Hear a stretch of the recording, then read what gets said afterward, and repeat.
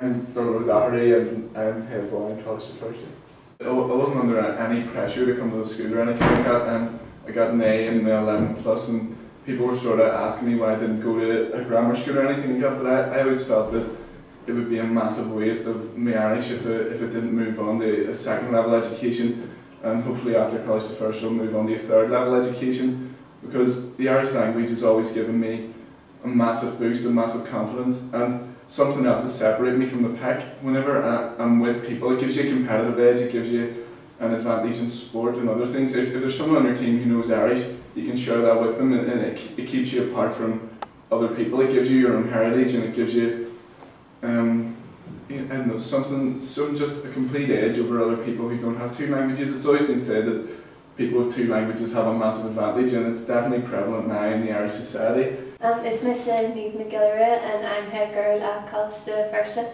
Um, being head girl is a big responsibility and the interview process to get the position originally was daunting and everybody asked why was I doing it when I was also doing four A levels. But I think myself and all of the heads that were appointed to the various duties all did it because this is our last year in school and we like to be a bigger part of it and do something that'll last even after we leave. So it's good to have and to help out and as I said we do work with the teachers and when events are held in the school we're there as representatives and it's nice to be chosen to do that, to welcome people and show them the Irish language and how it's grown and prospered over the years in the school and in the outside community.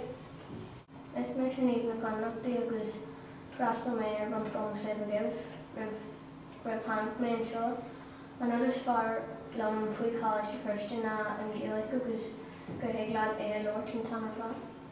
Hi, I'm Michael Mac Giolla Ghunna. I'm the newly appointed principal of Coláiste Feirste and it's a great honour to be principal of Coláiste Feirste. This school was set up 20 years ago now with only six pupils in one room, a couple of teachers, absolutely no funding. We've made huge advances since then.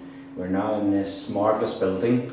Um, we, in terms of our curriculum, have expanded it immensely to 26 subjects at GCSE, 18 subjects at A level, and that's contributed to the big leaps that we've made in terms of our standards, in terms of the results that our pupils get.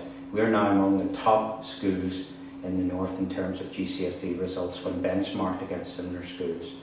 Similar results at A level, A stars, A's, in a wide range of subjects from drama and sport to the sciences, physics, maths, that type of, of subject.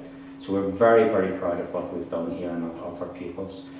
It happened because we've got great committed parents, we've got a good teaching staff and we've very, very good relations within the school between teachers and pupils and between teachers and parents. And it's relationships at the end of the day that make an organisation work.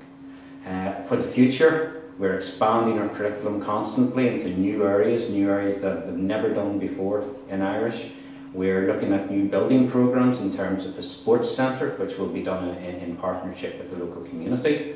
And um, we're looking at a new technology block. But most of all, we're looking at how we can improve our pastoral care system even more in terms of giving our pupils leadership qualities and, and building on those leadership qualities and encouraging them to be active uh, participants within their own community and within the Irish medium community and that bodes very well for the future. It's exciting times, um, I'm very glad to be here um, and I think Coláiste Feirste is going to continue to make a big mark in this city.